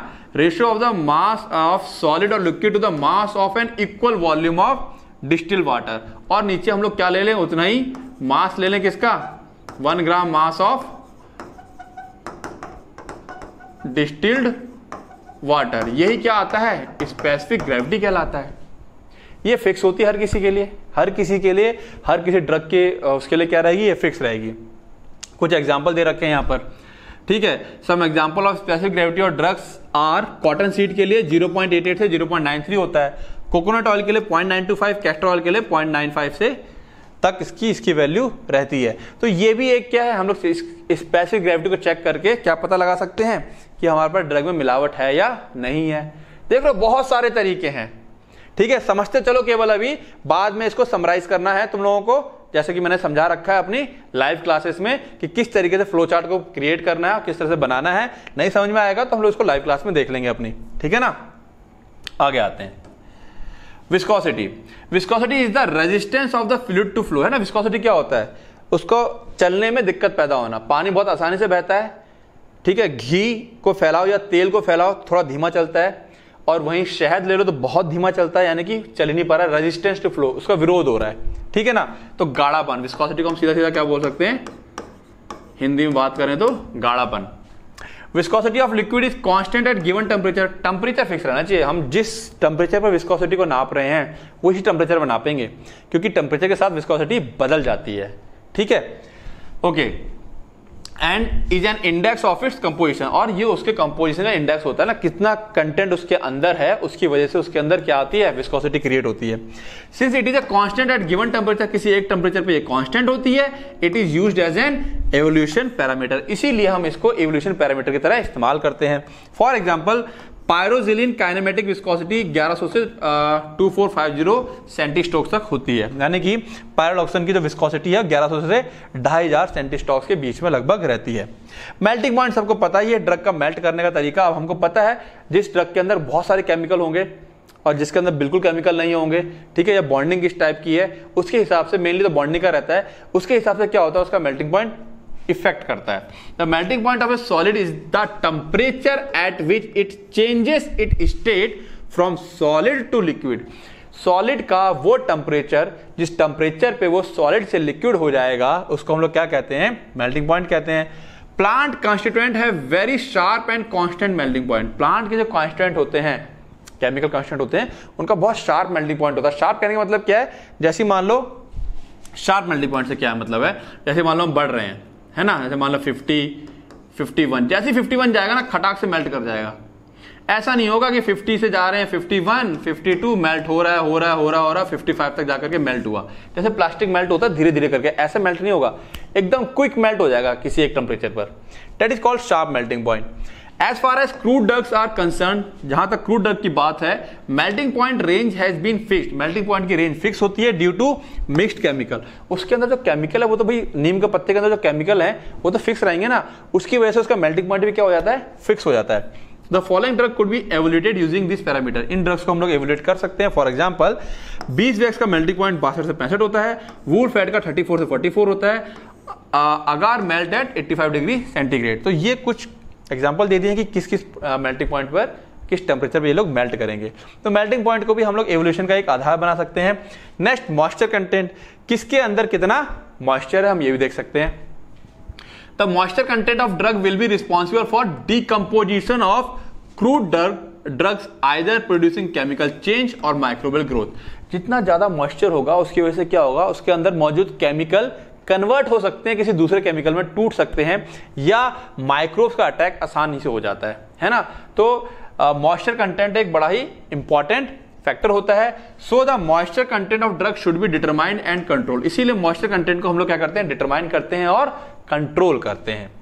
The moisture content is determined by heating drug at 105 degree centigrade in an oven to a constant weight हम लोग मॉइस्चर को कैसे कंटेंट डिटरमाइन करते हैं कि मान लो एक पत्ता लिया। इमेजिन करो, एक पत्ता लिया, इसका वेट ले लिया हमने। ठीक है, इसका वेट थोड़ी देर मान लेते हैं। वन मिलीग्राम है। हमने इसको क्या किया? हीट किया धीरे धीरे करके 105 डिग्री सेंटीग्रेड पर। ठीक है 105 डिग्री सेंटीग्रेड पर हीट करना स्टार्ट किया। और तब तक हीट करते चले गए। मान लो इसका वेट गिरा। पॉइंट वन से point nine point eight weight गिर रहा है, गिर रहा है, गिर रहा है। एक टाइम आया पॉइंट सिक्स मिलीग्राम। अब पॉइंट सिक्स के नीचे गिर नहीं रहा इसका वेट क्यों? सारा मॉइस्चर तो निकल गया होगा। अब केवल क्या बचा होगा? उसके अंदर उसका सॉलिड पार्ट बचा होगा। तो ये वेट क्या आ गया इसका? कांस्टेंट वेट तो तब तक हीट करते हैं उसको, जब तक हम लोग उसको उसके कांस्टेंट वेट पर ना ले आए। Following are the example of two crude drug with their moisture content limit यहाँ पे अच्छा लिमिट भी हो सकती है कि इतना मॉइस्चर रहेगा तो चल जाएगा। जैसे कि the moisture content of digitalis and ergot should be should not be more than five percent and eight percent respectively digitalis के अंदर five percent W by weight by weight और अर्गोट के अंदर eight percent weight by weight यानी पूरे wait का eight percent से ज़्यादा मॉइस्चर नहीं होना चाहिए, अगर है तो। ठीक है ना? तो इस तरीके से हम लोग क्या कर रहे हैं? मॉइस्चर को कंट्रोल कर रहे हैं और डिटरमाइन करते हैं। ये भी एक फैक्टर आ गया। अल्ट्रा वायलेट लाइट देखो, इसका भी मज़ेदार चीज़ है। सर्टन ड्रग्स फ्लोरिस यानी कि अल्ट्रावाइट लाइट में चमकते हैं कुछ ड्रग्स लाइट छोड़ो, चमक मारते हैं। ठीक है?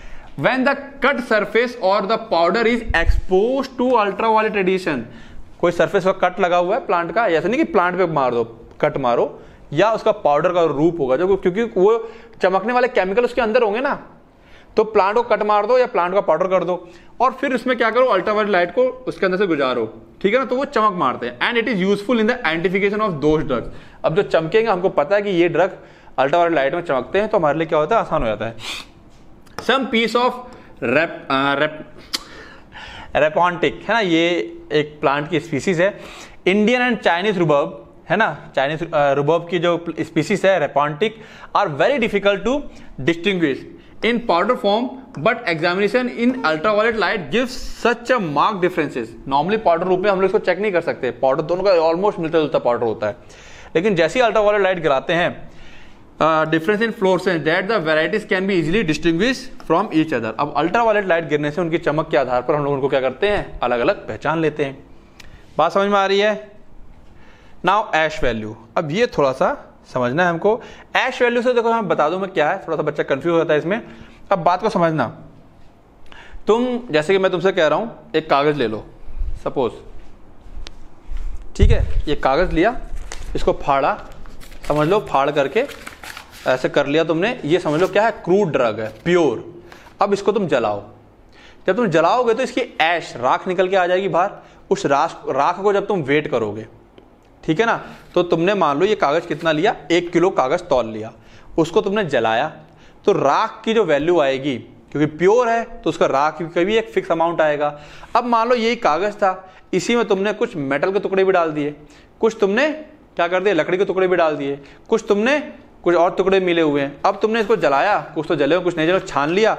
छानने के बाद जो राख आएगी मतलब वो लकड़ी के लोहे के टुकड़े की वजह से इसका वेट कितना हो गया होगा? एक किलो हो गया होगा। तो एक किलो में प्योर कागज़ तो होगा नहीं। दूसरी चीज़ें भी मिली हुई हैं। तो जो ऐश की वैल्यू हम तोलेंगे तो ऐश की वैल्यू एक जैसी नहीं आएगी। ऐश का वेट एक जैसा नहीं आएगा। बात समझ में आ रही है? और इस तरीके से हमको पता चल जाएगा क्या? कि इसके अंदर मिलावट है। बात समझ में आ रही है? तो सिंपल है ऐश वैल्यू ऐश मतलब राख। ऐश मतलब राख। The determination of ash is useful for detecting low grade product जो लो ग्रेड के प्रोडक्ट होते हैं, उनके लिए ज़रूरी होता है ये एग्जॉस्टेड ड्रग एग्जॉस्टेड मतलब जिसके अंदर से हमने निचोड़ निकाल लिया है। ठीक है ना? और वो ऊपर से देखने में एक सही लग रहा है, लेकिन अंदर उसके केमिकल कंस्टेंट को निचोड़ लिया गया है। ठीक है? एंड एक्सेस ऑफ़ सैंडी और अर्थी मैटर और या उसके अंदर रेतीली और अर्थी मैटर ज़्यादा हो। एग्जॉस्टेड ड्रग मतलब समझते हो ना? जैसे कि दूध में से हम लोग क्रीम निकाल लेते हैं। तो वो वाला दूध क्या कहलाएगा? एग्जॉस्टेड कहलाएगा, क्योंकि उसके अंदर से क्रीम निकाल ली गई है। बात क्लियर है? ठीक है। Different type of ash values are use in detection of crude drugs like अलग अलग टाइप की एश वैल्यू होती है। Total ash acid insoluble ash water soluble ash sulphated ash है ना? कई तरह से हम एश की वैल्यू को कैलकुलेट करते हैं। एक आते हैं total ash the total ash method is design to measure the total amount of material remaining after ignition हमने पूरा लिया मटेरियल कुछ भी, जो भी कुछ भी था, उसको जला दिया। कितना ऐश बच गया, उसको वेट कर लिया। This include both physiological ash इसके अंदर दोनों चीज़ें होंगी। भाई क्योंकि प्लांट था, उखाड़ा, उसके अंदर मिट्टी, इट्टी, रेत सब कुछ होगा। तो और प्लांट के टिश्यूज भी होंगे। तो प्लांट के टिश्यूज को हम बोलते हैं फिजियोलॉजिकल एश जो उसका लिविंग पार्ट से आया which derive from the plant tissue it and ये नेड नहीं है दिस इज़ एंड ठीक है? Non physiological ash which is the residue of the extraneous matter है ना? बाहरी मैटर मिट्टी है, या फिर नेड हो गया एंड सॉइल है adhering to the plant surface है ना? मिट्टी टी सॉइल से चिपक जाता है, कितना भी साफ़ हो चिपके रहते हैं। तो टोटल एश वैल्यू हम यहाँ से कैलकुलेट करते हैं, इसके अंदर मिट्टी और सॉइल भी रहती हैं। ठीक है? अब, ये दोस्तों total ash value acid insoluble ash it is residue obtained after boiling the total ash अब जो एश निकल गया ना हमको, मान लो ऊपर वाला एश था उसको हमने क्या किया? बॉइल किया। किसमें बॉइल किया? डायल्यूट हाइड्रोक्लोरिक एसिड में। और बाद में ignite the remaining insoluble matter और जो बाकी का बचा हुआ इंसॉल्युबल पार्ट था, उसे इग्नाइट कर दिया। है ना? हीट कर दिया, जिससे कि सूख जाए। This measures the amount of silica present specially as sand और सिलिशियस अर्थ अब क्या होगा? रेसिड्यू जो हमने हाइड्रोक्लोरिक एसिड में था ना, बाद में छान लिया था। तो राख राख तो नीचे आ जाएगी। इनसॉल्युबल वाला पार्ट है ना? और बाकी का पार्ट क्या हो जाएगा? अलग हो जाएगा। तो उसमें क्या है? सैंड और सिलिशियस अर्थ कितना उसमें लगा हुआ था, उस पार्ट को हम लोग क्या कर सकते हैं? अलग कर सकते हैं। फिर बाद में आता है water soluble ash is the difference in the weight between the total ash and the residue after treatment of the total ash with water यहाँ पे हम लोग क्या करते हैं? जो एश आ गई हमको, उसको हम पानी में डाल देंगे। ठीक है, पानी में घुल जाती है वो बॉईल करते हैं थोड़ी देर के लिए, ठीक है? फिर उसका छान लेते हैं, जो ऐश आती है, हमको उसको कलेक्ट कर लेते हैं, और उसको हम लोग क्या कर लेंगे? वेट कर लेंगे, ठीक है? इस तरीके से ये वाटर सोल्यूबल ऐश हमारे पास आ जाती है। तो तीन तरीके से ऐश की वैल्यू जो हम लोग कैलकुलेट कर सकते हैं, और उसको हम लोग स्टैंडर्ड ड्रग की ऐश के साथ फिर क्या करते हैं? कंपेयर करते हैं। क्लियर है? एक्सट्रैक्टिव वैल्यू ये क्या होती है? The extract obtained by exhausting crude drug अब हमने क्या किया यहाँ पर? सपोज़ सौ ग्राम अदरक ले ली, उसे निचोड़ दिया। उसमें से कितना रस निकल के बाहर आया। बात समझ में आई? तो वही काम कर रहे हैं। हम लोग यहाँ पर क्या लेंगे? अब अदरक का तो बात समझ में आ रही है, वो तो उदाहरण के लिए दिया। अब मान लो अदरक जैसी कोई और चीज़ मिला रखी है, अदरक जैसी, अदरक नहीं है, या उसके अंदर हमने ऐसी अदरक मिला रखी है जिसमें पहले ही उसका जूस निकला हुआ है। तो अब जब मिलावट वाली अदरक को 100 ग्राम लेके पिचकाएँगे तो उतना जूस नहीं निकलेगा। That is called extractive value जो एक्सट्रैक्ट मतलब उसके अंदर से निचोड़ निकल के आएगा, उसको हम लोग क्या बोलते हैं? एक्सट्रैक्ट बोलते हैं। जो निचोड़ निकलेगा, उसके अंदर से जो जूस निकलेगा, उसको हम लोग क्या बोलते हैं? एक्सट्रैक्ट बोलते हैं। ठीक है? क्लियर है?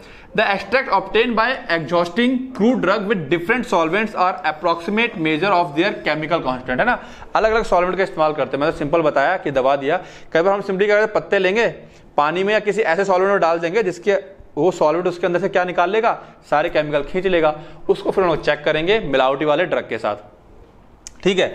Various solvent are use according to the type of the constituent to be analyse अलग अलग सॉल्वेंट इस्तेमाल किए जाते हैं कि किस टाइप का कॉन्स्टिट्यूंट हमको एनालाइज करना है।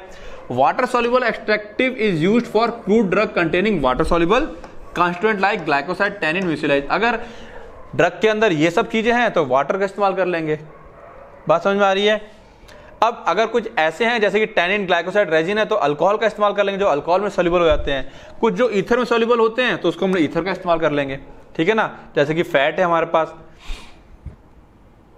ठीक है? अब यहाँ पे कुछ बात बता रहा है extractive value of some crude drug water soluble extractive alloy की बात करें तो not less than 25 percent weight by weight alcohol soluble इसके अंदर नॉट लेस देन 10 परसेंट होगा, और ether soluble not less than 25 percent ठीक है? इससे कम नहीं होगा 10 परसेंट से कम नहीं होगा, ये 25 परसेंट से कम नहीं होगा। ग्लिसराइजा के अंदर वाटर सोल्यूबल जो होंगे वो 20 परसेंट से कम नहीं होगा। एसफाइड जो ये है एसोफाइटीडा के अंदर नॉट लेस देन 50 परसेंट और कैप्सिकम के अंदर नॉट लेस देन 12 परसेंट, ठीक है ना? तो ये एक वैल्यू दे रखे कि अगर इनसे कम निकला, अगर इससे कम नहीं होना चाहिए, ज़्यादा होना चाहिए। अगर इससे कम निकलता है वाटर सोल्यूबल एक्सट्रैक्ट इसका मतलब मिलावट है। बात समझ में आ रही है? ठीक है? ठीक है ना फॉरन ऑर्गेनिक मैटर फॉरन मतलब विदेशी। मेन केमिकल कांस्टेंट के बाद मेन केमिकल ड्रग के या मेन क्रूड ड्रग के अलावा कोई भी चीज़ जो होती है, वो सब क्या है? फॉरन ऑर्गेनिक मैटर है। जैसे कि the parts of the organ और organ other than those parts of drug कोई ऑर्गन का पार्ट या part other than drug mention in the definition and description of the drug are known as foreign organ matter यानी मतलब कि the part of the organ और organ other than the of drug drug के अलावा कोई भी organ है या ऑर्गन का पार्ट है। ठीक है? वो सब क्या है? फॉरन ऑर्गेनिक मैटर है। ठीक है? सिंपल लैंग्वेज में लिख सकते हो। कोई भी पार्ट इसको सिंपल लिख लेना अगर ये डेफिनेशन टफ लग रही हो कि एनी थिंग या any substance other than other than the drug ठीक है? उसको हम लोग क्या कहेंगे? ऑर्गेनिक मैटर क्लियर है? Okay they may be insect कीड़ा हो सकता है छोटा मोटा कीड़ा मर के पड़ा हो उसके अंदर।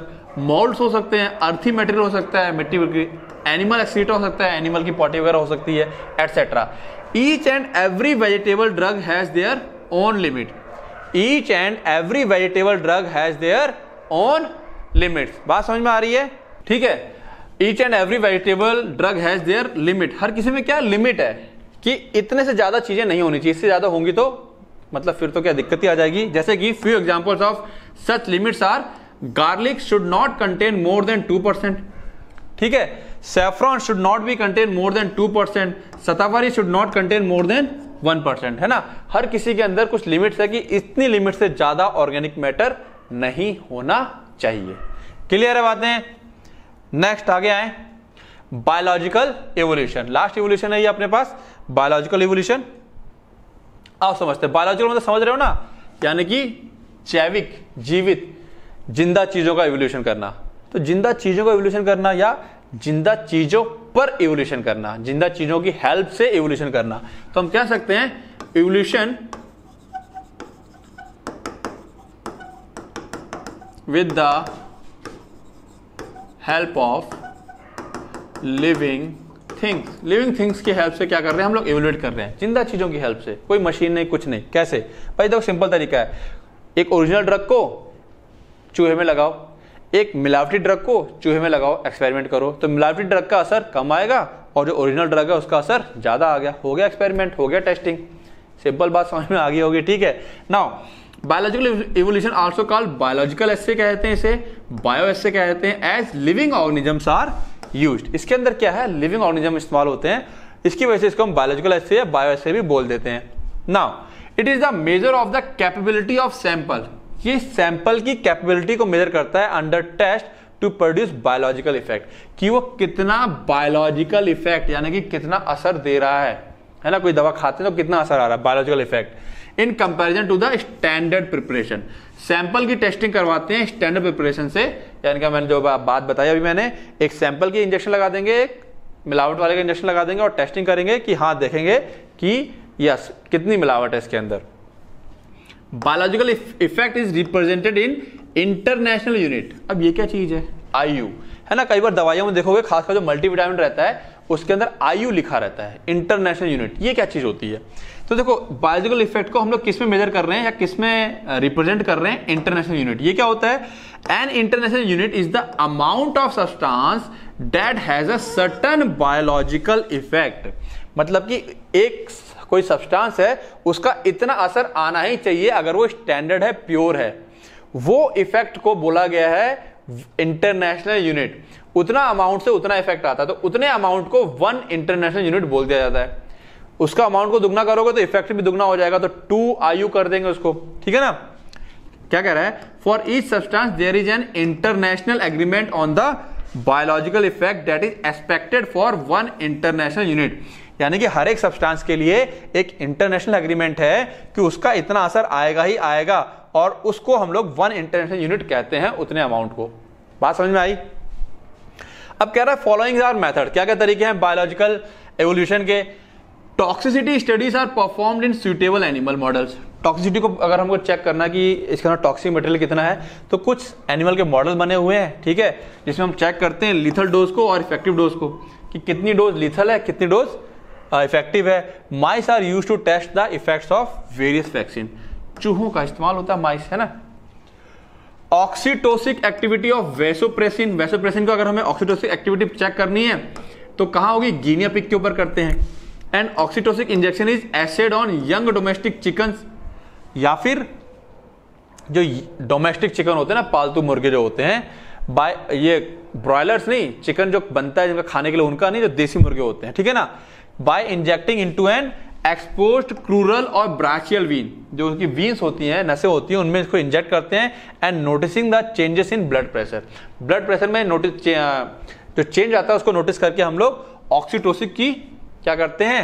एक्टिविटी को चेक करते हैं oxytocic activity of vasopressin pigeons कबूतर are use to assay digitalis glycosides ठीक है ना? डिजिटेलिस ग्लाइकोसाइड को चेक करने के लिए हम कबूतरों का इस्तेमाल करते हैं by transfusing the drug through the alar vein जो अलारविन होती है कबूतरों की, उसमें इंजेक्ट कर देंगे to the blood stream and observing the lethal effect और उसके लिथल इफ़ेक्ट को हम लोग चेक करते हैं फिर। लिथल मतलब घातक। Depressor activity and mydriatic activity depressor मतलब कम करना और मेडियाट्रिक जो आँखों के ऊपर असर करती है दवाइयाँ। Effect of certain drugs are tested in cats and cats i.e. बिल्ली में और बिल्ली की आँखों में डाल करके चेक करते हैं। Anti helminthic drugs are evaluated on worms कीड़ों के ऊपर एंटी हेलमेंथिक ड्रग को डाल करके चेक करते हैं। डाल करके मतलब बॉडी में डाल करके। The drugs that have an effect in eye are assayed on rabbits i.e. दवाइयाँ जिनका असर आँखों पे होना है, उसको हम खरगोश की आँखों में डाल करके उसको चेकिंग करते हैं एवुलेट करते हैं। है ना कि कितना इफ़ेक्ट आने वाला है उसका? Dogs are use to assay the drug that exhibit cardiac and gastrointestinal activity जो ड्रग्स की कार्डियक और जीआईटी एक्टिविटी होती है, उसको चेक करने के लिए हम लोग डॉग का इस्तेमाल करते हैं, कुत्तों का इस्तेमाल करते हैं। Effect of ergot are carried out on cock's comb और rabbits intestine on its uterus ergot के इफ़ेक्ट के लिए हम लोग कॉक्स कॉम और रैबिट की इंटेस्टाइन का इस्तेमाल करते हैं। Microbiological assays are carried out to determine the effect of drug in various microorganisms and this is employed in the identification of microbial anti microbial drug ठीक है ना? तो माइक्रोबियल ऐसे को करने के लिए हम लोग क्या करते हैं? माइक्रो ऑर्गेनिज्म का इस्तेमाल करेंगे, जिससे कि हमको एंटी माइक्रोबियल एक्टिविटी ड्रग की पता चलती है। तो ये तमाम तरीके हैं ड्रग को क्या करने के लिए? एवुलेट करने के लिए। जांचने के लिए कि ड्रग प्योर है या नहीं है, मिलावट है कि नहीं है, ये सब चीज़ें पता चलती है हमको ये सारे तमाम तरीके से। बात समझ में आ रही है? तो अब हम लोग क्या देखने वाले हैं? एवुलेट करते हैं किसको? माइंड नर्चर ऐप को। कि वो आपको क्या क्या देने वाला है, किस तरीके से आपको बेनिफिट करने वाला है, आपके डी फार्मा की जर्नी में और एग्जिट एग्ज़ाम की जर्नी में किस तरह से आपके लिए वो बेस्ट साबित होने वाला है। कौन? हमारा माइंड नर्चर ऐप आइए देखते हैं उसकी कुछ खूबियाँ। तो आओ, जानते हैं अपने माइंड नर्चर ऐप के बारे में। तो यस हमारे चैनल का जो नाम है माइंड नर्चर, उसी के नाम से अब ऐप आ चुका है जो कि गूगल के प्ले स्टोर पे मौजूद है। ठीक है लेक्चर के लिंक में भी उसका डिस्क्रिप्शन दे रखा है और चाहो तो डायरेक्ट कहा प्ले स्टोर पे जाकर के उसको डाउनलोड कर सकते हो। ठीक है, अब देखो यूट्यूब पर लेक्चर्स एंड नोट्स यूट्यूब पर भी अवेलेबल है फ्री ऑफ़ कॉस्ट है ना? जब मैं पहले से ही पढ़ा रहा था ये तो मैंने बच्चों से प्रॉमिस किया था कि लेक्चर और नोट्स जैसे डाल रहा हूँ, मैं यूट्यूब पर ठीक वैसे डालता रहूँगा। कोई चेंज नहीं आएगा। जितने लेक्चर मेरे ऐप में होंगे, जितने नोट्स मेरे ऐप में होंगे, उतने लेक्चर और नोट्स आपको यूट्यूब पर मिलेगा। बट क्या चीज़ आपको यूट्यूब पर नहीं मिलेगी?